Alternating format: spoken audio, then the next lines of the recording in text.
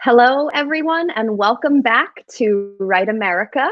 Uh, Write America is our literary series that is spearheaded by author Roger Rosenblatt uh, in an effort to bridge the great divide in our country through readings and conversations from award winning, nationally renowned, and new and emerging uh, writers. Uh, my name is Lauren. I'll be your host for this evening. Uh, for those of you who are not familiar with um, our bookstore, Book Review, uh, we are Long Island's largest independent bookstore located in Huntington Village. Uh, I am so thrilled to be back here with you guys uh, tonight um, for another episode of Write America. Tonight we have uh, Carlos Fonseca and Rose Styron with us. Um, they're going to be sharing some readings and conversation. but if you missed last week's episode with the fabulous Paul Auster and Siri Hustvedt, uh, you can go uh, to Book Review's Crowdcast channel at any time to watch the recordings. Uh, every episode of Write America is recorded, uh, as will this one. Uh, this one's also going to be recorded, so you can, uh, if you miss anything, you can just go back and check that out. Um, now, before we get started with the readings, there's a few things that I'd like to show you about Crowdcast, just in case this is your first time here with us tonight. Um, right below the stream, there is a blue button. If you click that button, it will bring you to bookreview.com where you can purchase uh, books um, signed by all of the Write America authors. Um, there is an Ask a Question button down here also somewhere. Uh, if you click that button, you can submit a question for Carlos and Rose uh, for the uh, Q&A that we're going to get to at the end of the event here. Um, and then there is also the chat. Feel free um, to chat amongst yourselves, uh, comment on the readings and the conversation. You can you know, ask questions in there too. And of course, drop your emoji applause. Um, and I think that's pretty much it. That covers all of the bases. So we are going to get on with the readings. Uh, so our first reader tonight is Rose Styron. Uh, Rose is a poet, journalist, translator, and international human rights activist. She's published four volumes of poetry and traveled widely for Amnesty International and other human rights organizations, chairing AIUSA's National Advisory Council, PEN's Freedom to Write Committee, and the RFK Human Rights Award. In 2009 and 2010, Rose was a resident fellow at Harvard University of Politics and its Carr Center for Human Rights. More recently, with Meryl Streep, she co-chaired Poetry and the Creative Mind on stage at Lincoln Center on behalf of the American Academy of, uh, Academy of American Poets, excuse me. Uh, so please welcome our first reader, Rose Styron. Hi, Rose. Hi, how are you? I'm well. So glad you could be here with us tonight. Thank you for asking me. I think since uh, I guess I should put my glasses on. I will leave you to it. But I thought since Carlos and I uh, both agreed uh, that nature was our inspiration initially for writing prose and poetry, um, even though we've all been uh, involved, uh, each of us, with many of other uh, causes, whether it was human rights or climate change in this complex age of violence and lying. I thought maybe, you know, beauty is truth, truth, beauty. And so I decided just to read poems about the beauty that informs me on Martha's Vineyard, which is now, uh, after a long life, my permanent home. Um, so I decided to make choices from my last two books of poetry, 20 years apart, I must say, by Vineyard Light and Fierce Day. And um, the earlier ones were written sort of in times of, you know, romance and family and marriage and children. And these last in my older, more solitary days, reflecting. So I'll just start in with poems about Martha's Vineyard. No one's awake but us and a bird, the day's too beautiful to speak a word. This antique landscape, rubbed by hand, shines through the mist like silvered hay. Its hewn rail fence, grayed barn, sweet fields, where dusty birds hide, startled, focused day.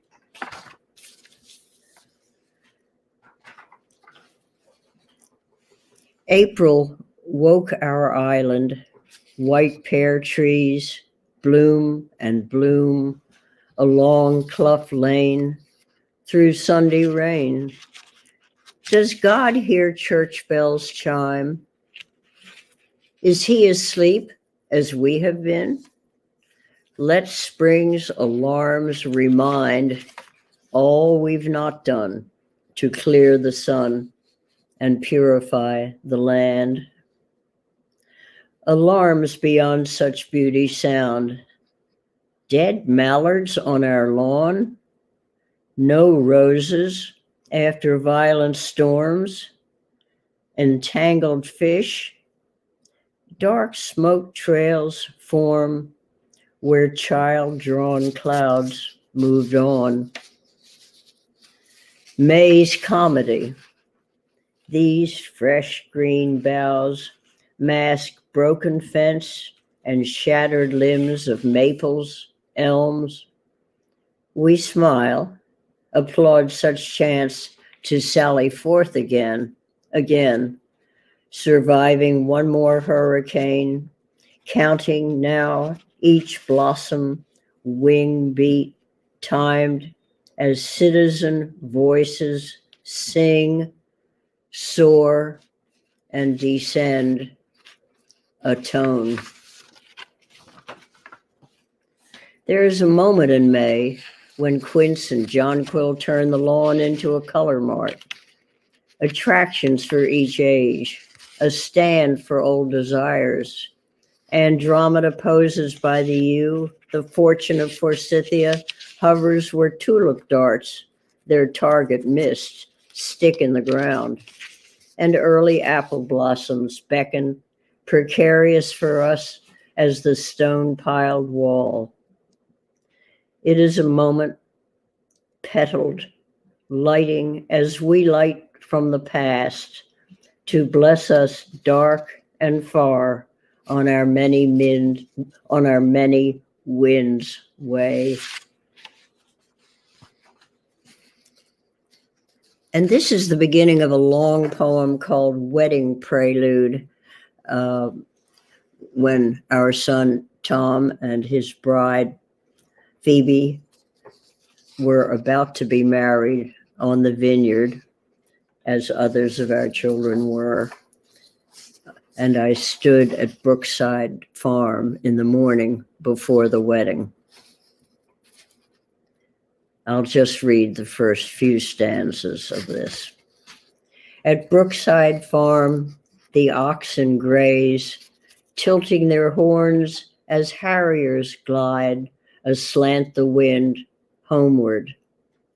The weathered ox cart, unused, rests against the welcome barn. At Brookside Farm, the oxen graze not from dark hollowed sockets, mouths agape at ongoing Guernicas. No masters hanged from the roadside cross, no choir boys hidden in chestnut trees, leaves of midsummer plunging all around them.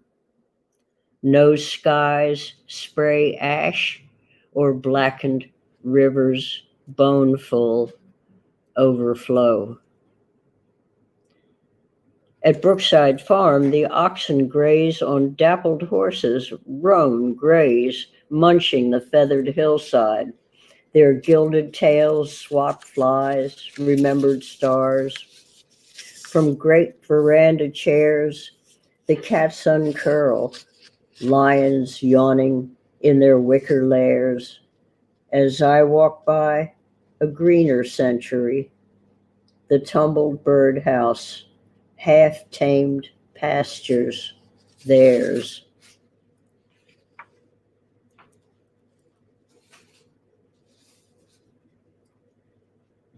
This is looking at the painted screen our artist Kib Bramhall devised.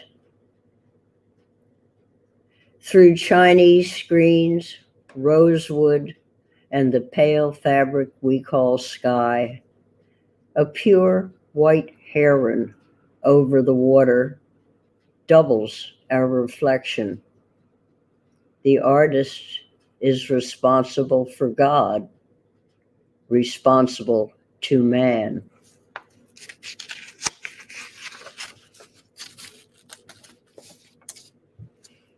And moving on to summer. Good night, great summer sky, world of my childhood and the star struck sea. White chaise from that ancestral southern porch, my raft. White goose down quilt, my ballast. Under Orion on our green waved lawn, I float high.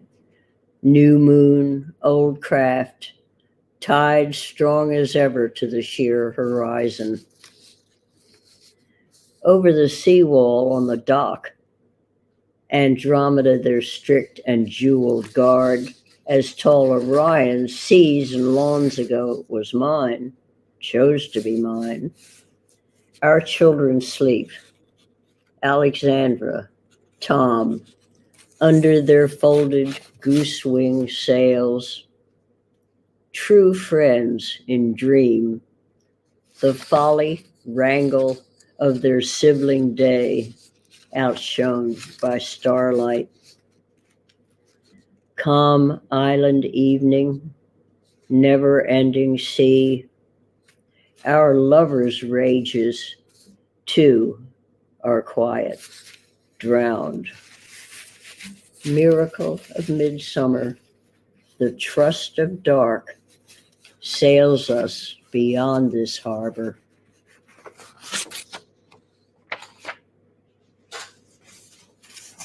And here is one of my many, many trips to the beaches of Martha's Vineyard. This goes to Zack's Cliffs. The lure of South Beach on a beautiful day, the crest of September, snow's kingdom, December, blue windward and leeward in May. The lure that the curlew and sanderling know of wildness and bluster, of limbo and luster, sun chasing the tail of the blow. When life is intense or contentious in town, too calm at the harbor, too rich by the arbor, the lawn in this heat turning brown. The lure like a rainbow, he claimed there should be. Storm cast to tease us, catches us, frees us. Come, love, let us race to the sea. But all is not beautiful entirely. Each crisp autumn, there are fewer leaves, more clarity, light cycles of the hay mound, odors of late roses, rivers rushing where we once meandered, content in the casual chaos of each season plotting no espionage because we did not know the world as terror then.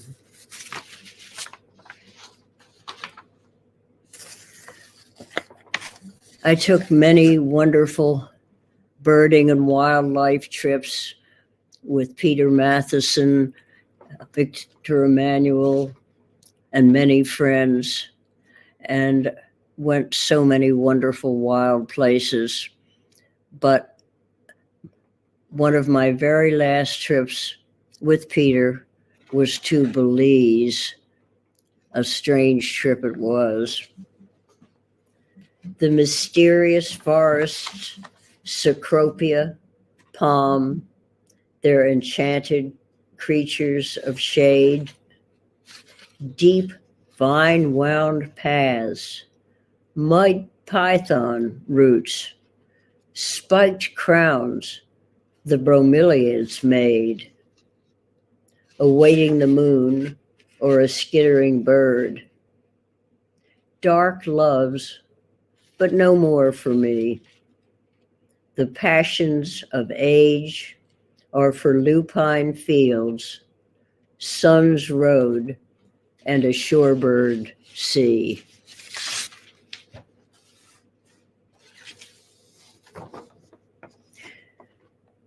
This will be my last poem. You would have loved today, this twilight, high in the wild fever, spring bruised field.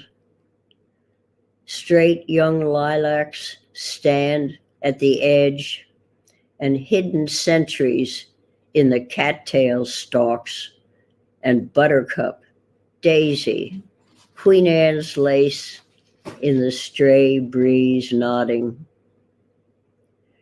Rim of the heart, first red winged blackbird calls in the tall sycamore. A pair of bluebirds swings in the windy elm.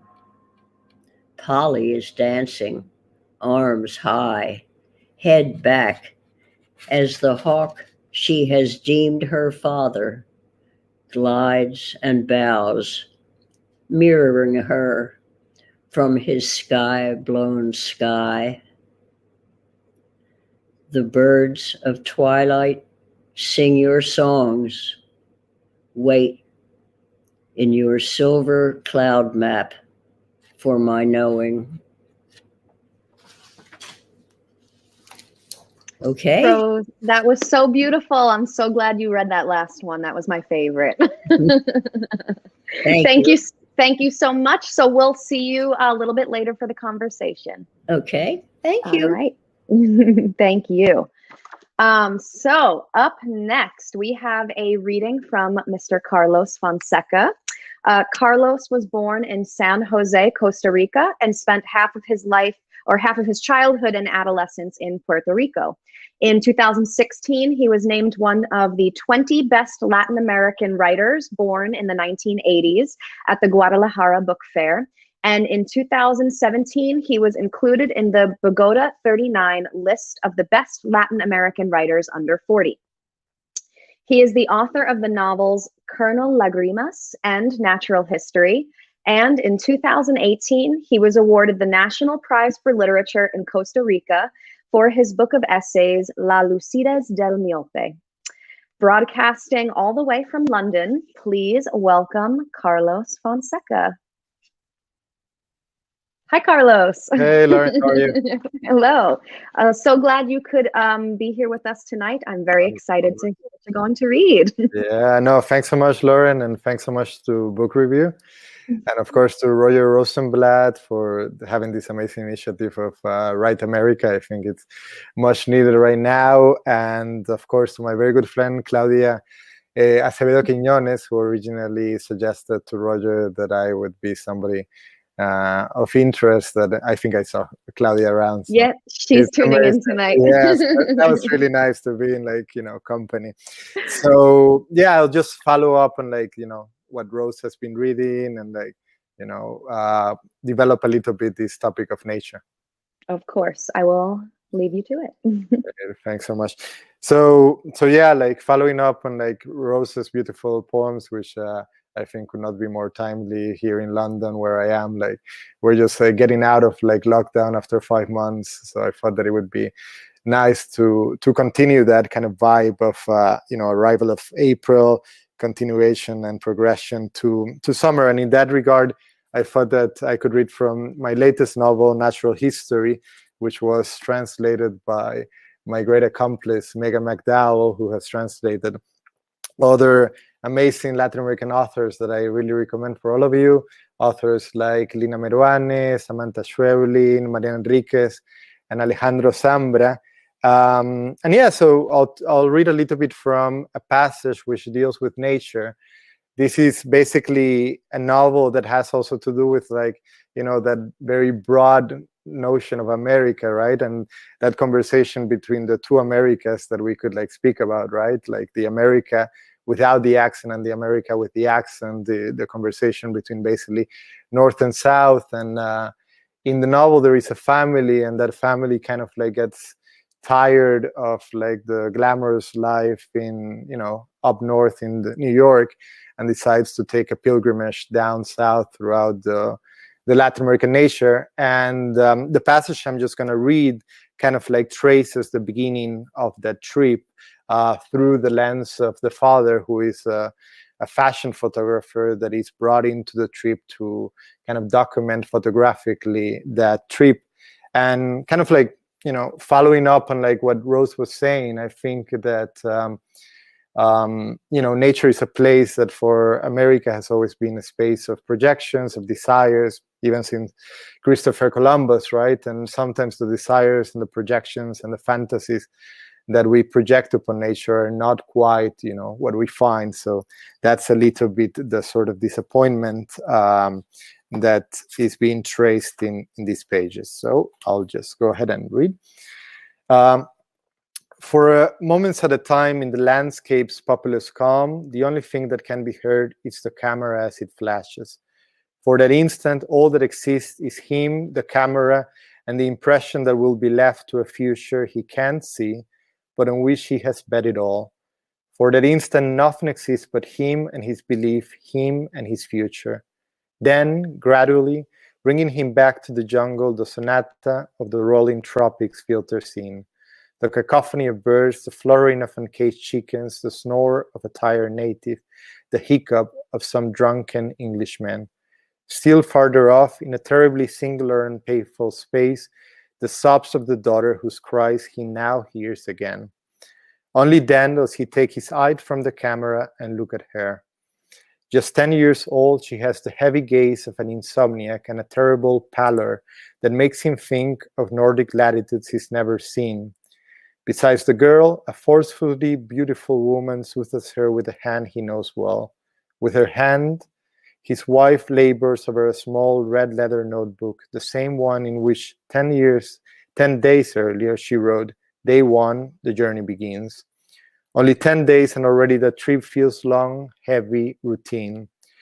10 days have passed since a rusted out bus left them on the threshold of what they dare to call a jungle, but that at times seems like nothing more than a giant garbage dump left behind an absentee God.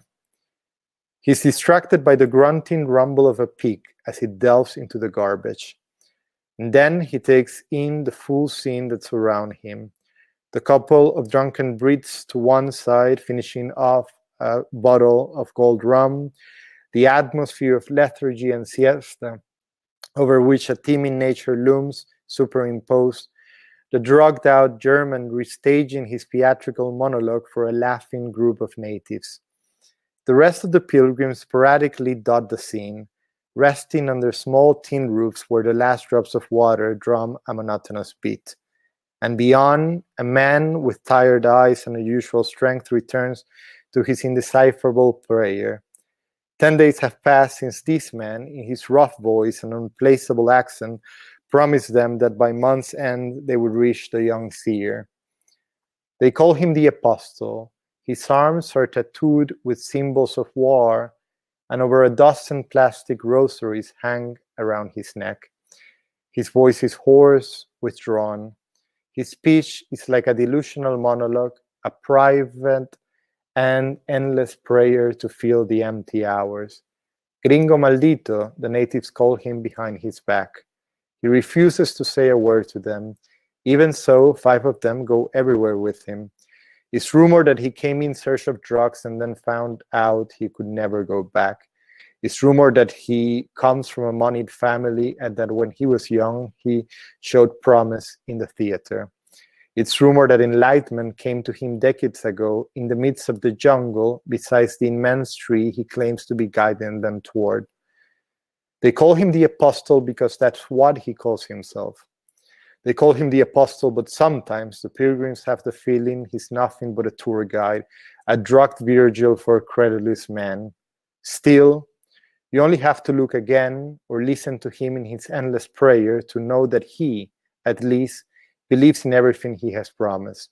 Now, three stinking pigs meander around him in the mud, while farther on, the natives played cards to read to ride out the boredom. They all wear American brand names and the ironic expressions of unbelievers. They all, natives and pilgrims alike, call him the apostle because he promises things. Ten days ago, for example, he promised them that in one month's time they would come to an enormous, enormous archipelago in the middle of the jungle, and then there, at the foot of a great fallen tree, the seer will show them the way. In his eyes, somewhere between belief and madness, the gamble of a generation is made manifest. Ten days have passed since they started their journey on foot, five since the little girl started to get sick. The whole time, the jungle has done nothing but contradict their expectations. The naked natives wear t shirts with rock band logos. In the place of exuberant nature, there are garbage dumps. Instead of lawlessness, the state is omnipresent. Everywhere they go, they encounter police, solemn border agents who fight their own boredom by assiduously checking travel documents. Far from the paradise they dreamt of, the jungle reveals its more modern face, its ruinous border down face. Nevertheless, they well they know, well know that nature is there, latent like a sleeping scorpion. They sense it at night in the utter darkness that envelops them. They hear it rather than see it in the whisper of nighttime animals, the fluttering fowl, the croak of the frogs like nocturnal birds, the murmur of the insects always poised to wage war against the mosquito net. He, however, has been tasked specifically with making nature visible. As a photographer, he's to document the trip. That's his place, halfway between participation and observation, between belief and irony. Only five years earlier, he, he earned his living taking photos of the most coveted models of New York. Today, he's following a man who has made an impossible promise. He's chasing after a drugged man's invisible dream. So that's it.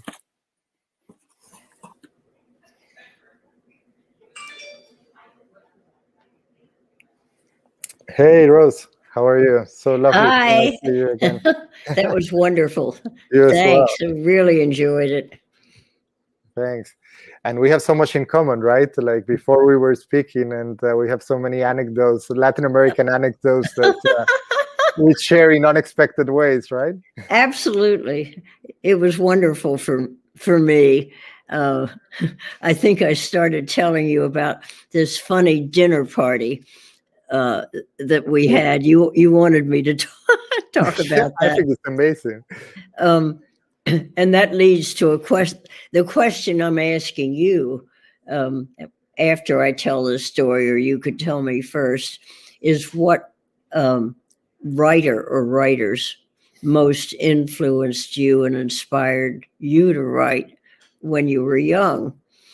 And the reason I'm asking you this is because I had this funny dinner party. Bill Styron and I had this funny dinner party, very impromptu, when we got a call from Gabriel Garcia Marquez, who I had known because we had written back to back pieces during Pinochet's coup in Chile. And then we had been on a panel together in Mexico. Uh, and I won't go into all of that, but he called me. I hadn't seen him for a few years. And he called me 11 o'clock one night and said, You always said I should come to the vineyard. Uh, Carlos Fuentes is coming up as usual to visit you in about two weeks. Should I come with him? And I said, Of course, that would be just great. And he said, Well, I'll call you next week and let you know. And 12 hours later, on a beach in Martha's Vineyard, um, President Clinton, who was uh, there that summer with Hillary, said to me, I hear Carlos Fuentes is coming to visit you. Um, he's my daughter Chelsea's favorite author. Chelsea was 13, I think. I was quite impressed. Would you please invite us over when he comes? So I said, sure, wondering how on earth he knew at that point that, you know, that Gabo might come and visit. So a couple of weeks later, he came, Carlos Fuentes came, uh, the foreign minister of Mexico, whom I didn't know, came, etc. We had a long table set for dinner. And after um, Gabo had been peppering um, President Clinton with questions and uh, urging him to lift the sanctions mm-hmm. on Cuba, uh, the subject luckily got changed because there were a lot of writers there. And uh, we asked what uh, writer or what book inspired you most uh, when you were young? And we got lots of different answers uh, from Don Quixote forward. And when it got through the writers and came to uh, President Clinton, who was on my right, he pushed his chair back and said, Well, my favorite author is Faulkner. I'm a Southern boy, he said. And he got up and walked around our table three or four times, reciting Benjy's monologue from The Sound and the Fury, word for word, which was a great start until dessert came. But we all stayed friends and we visited um, the Fuenteses every uh, New Year's or after New Year's in Mexico, and they visited us on the vineyard. And um, I, it took me when I was um, with PEN trying to get Gabo, uh, sorry, Garcia Marquez, um, a visa uh, to the United States, which took several years to get because they thought he was um, Castro's pal and a revolutionary, and our government, courtesy of Kissinger and others, was trying to get rid of Castro, as you remember. And so he finally came in and came up to New York City, and we had a great time together. And he said, I want to uh, go south and go to Faulkner's home because he's my favorite author. And this was long before I learned that he was also Clinton's favorite author. And uh, the American government wouldn't let him go. They said, oh, no, you, you can't leave New York City. But a few years later, when all that changed, we had some Democrats in the White House. Um, he did get to go south. Democrats who, who, were reading Faulkner, right? So that's uh, yeah. so, did you have any American, uh, you know, writers that you felt that way about? And and I'd like to know the Latin American ones too. Yeah. Well, first of all, I see people in the crowd are saying like, "I would like to have been at that party. I would like, I would have loved to be at that party as well." and, it was uh, pretty funny.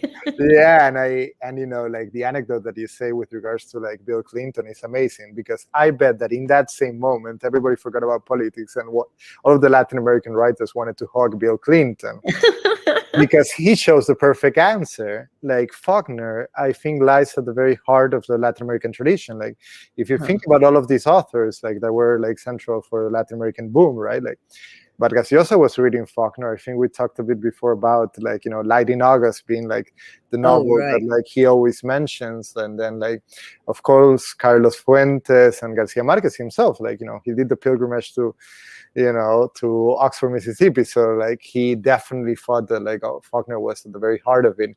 And for me as well, like I think like, you know, I began reading all of them, right? So huh. all of these authors that were there were, you know, our, our canon, right? The Latin American boom or like the authors that we, you know, read. And indirectly you always they lead you to Faulkner. And then you encounter kind of the master of it all which is somebody who has like a lot to say also about America, right? And like that, like you know, very long history of colonialism, of like you know, like oh the, yeah, that led to all of these divisions that that we are now like you know ex- living through. And I think that like you know, returning to Faulkner might be one way of like understanding like our current day like you know problems. Like to think that faulkner led to garcia marquez and to toni morrison is just lovely right? Oh absolutely. That's so interesting. I remember one other thing that clinton said and i'm ashamed to say it's a writer i've never read. He after faulkner he said by the way, I've just been reading Paco Taibo. Ah, Paco Taibo. Yeah. and both um, uh, Fuentes and Garcia Marquez said, Paco, we just had dinner with him, you know, last week. We didn't know any Americans read him. That's amazing. It looks like Bill Clinton was winning the hearts of the of the Latin American writers. Uh, so that's uh, that's lovely. Yeah yeah. So yeah in my case you know uh, something that happens with all of us is a little bit like you know these these authors are such towering figures like authors like garcia marquez vargas llosa and carlos fuentes particularly also cortázar that at one point like when you're 19 or 20 you have to kind of like begin to like differentiate what you do with respect to them right? Like that's that's normal right? You, you need to be cool like that. And the, the, interesting thing is that like nowadays i see people returning to them. And i'll give you a clear really? example from really? yeah from latin american like young authors. Like recently like i think one of the most impressive books that were published this year was fernanda melchor's um, hurricane season i believe. It was translated by new directions Huh. Um, and she's like one of the most kind of like disruptive, like subversive new voices, experimental as well. And interestingly enough, when they when people ask her who are your influences, she says Garcia Marquez from um, not from 100 Years of Solitude, but from The Autumn of the Patriarch. So that's oh, impressive yeah. that people. That's a wonderful book. I love yeah, that book. Extremely experimental, extremely Faulknerian. Like you know. It is. You're right. I never thought of that yeah so so it's interesting that we are now returning to to them right? After yeah. that first kind of punk refusal to like re, you know yeah. like to acknowledge them as canonical figures.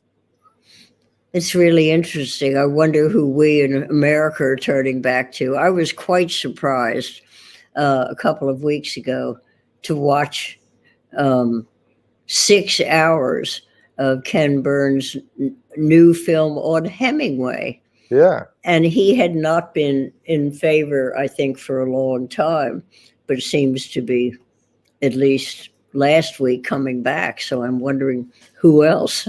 Yeah, exactly. Like uh, find. I'm thinking Baldwin, right? Like Ralph Ellison, like uh, so many of the authors that are kind of like coming back now, like yeah, Bald, Baldwin has certainly resurfaced this year, yeah. which is interesting. He lived with us for a while, Oh um, wow! Yeah, in Roxbury, he was our good friend, and we all were invited to the White House once together, and that's where we all met President Kennedy and ah. Robert Kennedy and all the families, and um, Jimmy Baldwin stayed very close to Bobby Kennedy, and they worked together. I wasn't part of that, but uh, you know, once again, it's your home dinners. yeah, of course. Because he was the one that talked my husband, Bill Styron, into writing the Confessions of Nat Turner in the first person. And boy, did Bill get slammed for that. but anyway. And the other the other anecdote that you told me about, which is just like amazing, is this uh, impressive anecdote with regards to Neruda. with what? How, with regards to Neruda, Pablo Neruda, the, the Chilean poet, and how you were when he dies in the middle of the you know Pinochet's coup, you're called oh. to, to Chile, to which could be like you know like a spy novel or something like that. Uh, so. Oh, that was funny. It was my first mission for Amnesty International, and it was to Chile during Pinochet's coup. And when PEN heard that I was going down, yeah, they asked me to they heard that the poets, uh, you know, the famous poet who had just died of a heart attack, we think, uh, under Pinochet, yeah. uh, had his um, last manuscript buried in the concrete uh, under a certain um, street corner. of course, I went nothing, only, you know, the smoothest possible stones on top. So I never did find those. Did but we had lots of adventures.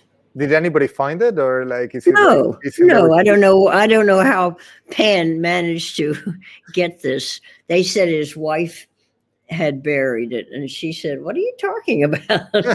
so that wasn't just one of those rumors, but putting me in touch with the poets yeah. and their families. That's amazing. It's interesting because now, like hearing your like poetry, and particularly with regards to nature, I was thinking of Neruda, um, and I was I was interested in something that came out from your poetry, right? Like these like projections upon nature, right? Like for example, at one point you said, "Yes, it's beautiful, but it's not only beautiful, right? There's also like decay, there is climate change, and like I wanted to like ask you a little bit about that." Yeah, well, you can't forget what you know just because you're writing about your beautiful surroundings. Mm-hmm. I mean, you're lucky to have them, but oh, Neruda was it was Neruda's poetry, of course, that I was supposed to be looking for and didn't find. But I certainly heard a lot and learned a lot from other um, Latin Americans, especially the Chileans who had been imprisoned by Pinochet when, because they'd been part of Allende's government. And when they finally got to the US, a few of them, it was amazing to be with them. And I remember one night in Mexico City, and Gabo was there, and so was Carlos. It was um, a conference. And after dinner, I found myself sitting on the steps to some little restaurant, and sitting next to me were um, Orlando Letelier mm-hmm. and Angel Parra. And of course, Angel Parra was a wonderful musician and poet. And the two of them began to sing songs to each other, which they had sung when they were imprisoned in Antarctica and taken out blindfolded every day and told they were going to be shot. And they weren't. And so at night they'd sing these songs to them. So, yeah, you know, which was, it didn't make up for Victor Jara yeah. being killed in the stadium, but yeah. it was something. No, and it's interesting that like you know Chile has such a strong tradition of poetry as well, and that like poetry seems to like play a particular role in these like sort of like hard times, right? Like, yeah, you're right. Yeah, I think it's you know, it's a way to have kind of private or personal truth in an age of public lying, yeah. which in America we we certainly are in now. Yeah. We thought we were out of it when we got rid of Trump, but we're not. Yeah. So. Yeah, now that you mentioned Victor Jara, I'm thinking like poetry has this like association also to music that like and to song, right? That in the case of like Latin yeah. America also has like a big tradition, right? Like we have a lot of these like we call them cantautores. They're like kind of singer songwriters, kind of Bob Dylan, right? The tradition of the song of protest, right? And I think that that became like very powerful in Latin America for a while. Yeah, that's true. Who are the Latin Americans now who you really value as as poets and musicians and uh, and, well, and prose writers, all of you? I'd like yeah. to know what the landscape of uh, Latin America looks like now. I haven't been for years, unfortunately. Yeah, well, like you know, it's it's hard because it, there's so many, right? Like, so that we have so many different countries. But I'll speak basically for my two countries, right? Which are often like kind of like, you know, they're small countries, so they are not like they don't figure as often as Mexico or Argentina, right? I come from Costa Rica and Puerto Rico. We have each like populations of four million.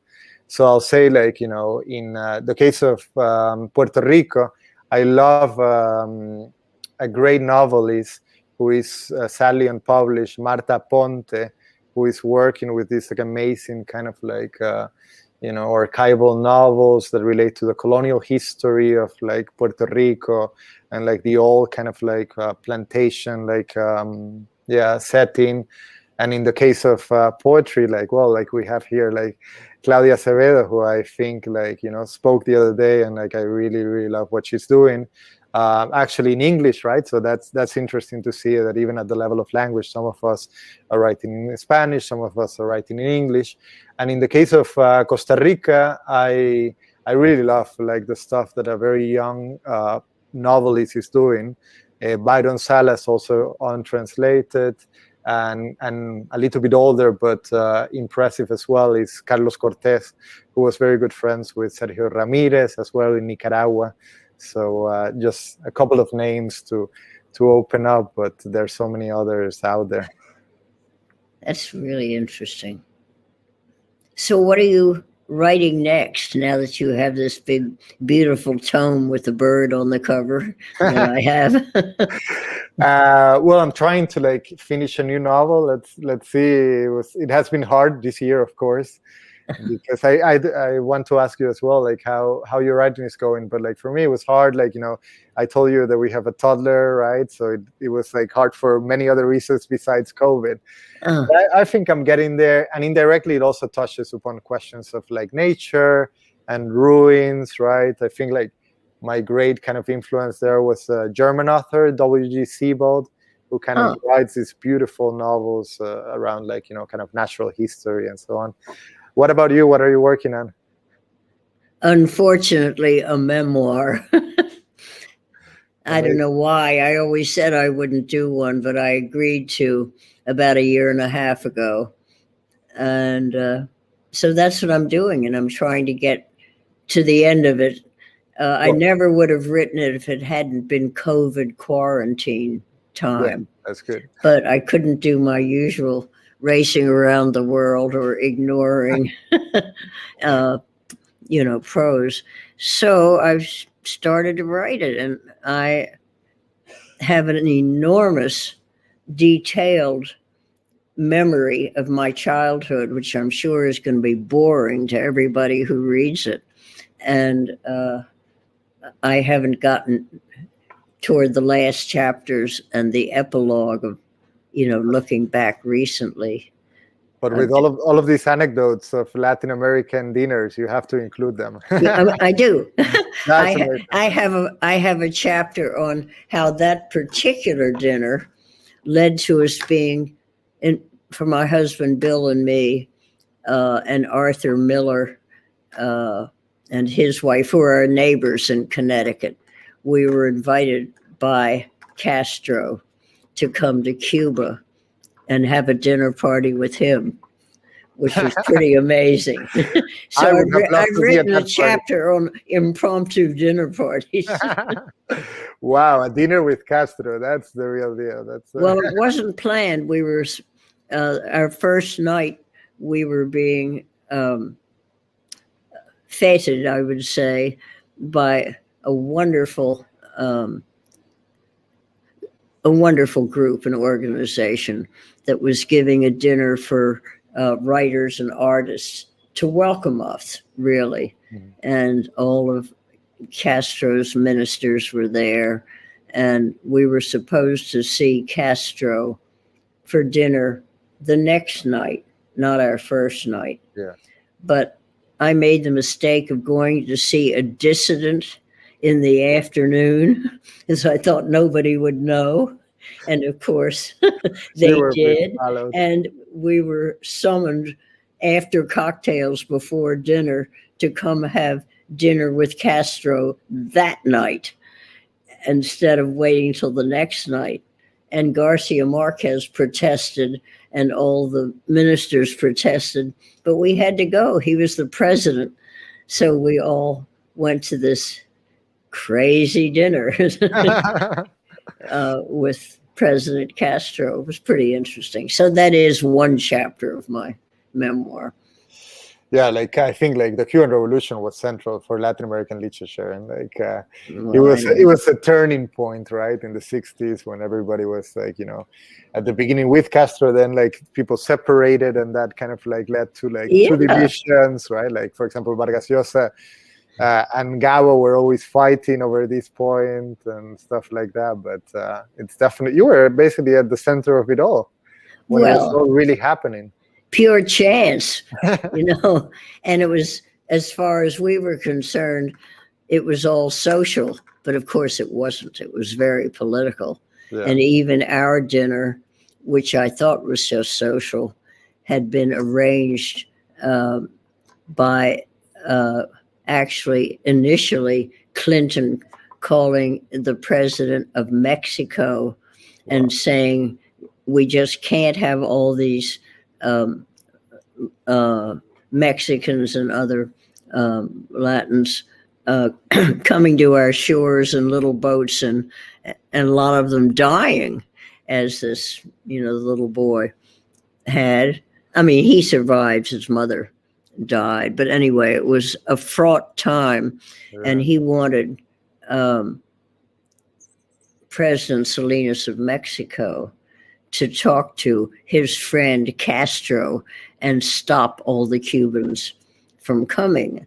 And President Salinas said to him, Well, there'll be a, a, quid pro quo, which of course there was. But apparently he called Castro, and the two of them decided that they should send uh, um, Garcia Marquez up as a go between because he was our friend, but he was still Castro's friend, even though he disagreed with him politically.